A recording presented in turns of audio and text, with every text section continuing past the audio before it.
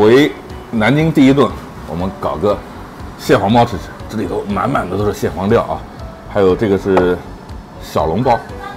在外地啊，其实南京的小吃最多的就是叫灌汤金陵灌汤包，但是南京是不讲金陵灌汤包的。来一个，哎呦，都是汁水。先开口再喝汤。嗯，这家的汤包超好吃。然后这个是。里头都是蟹黄啊！开口给你看看，哇，都是蟹肉，看到没？满不满足？这一只二十块钱，这个蟹黄包我是这么吃的，弄点醋，这样才更鲜。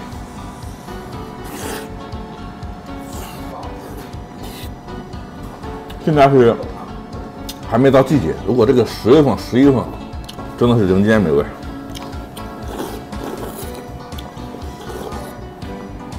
这个是三鲜馄饨，你们有见过馄饨加这么多料的吗？腰花、肚丝，来，熬点辣油。今天那个早餐怎么样？到顶了啊！还有一个东西，鸭肉。我们先喝点这个汤。来，最后来一个。南京著名黑暗料理，令人闻风丧胆的糊珠子，这个你们有吃过吗？他就要这口汤啊！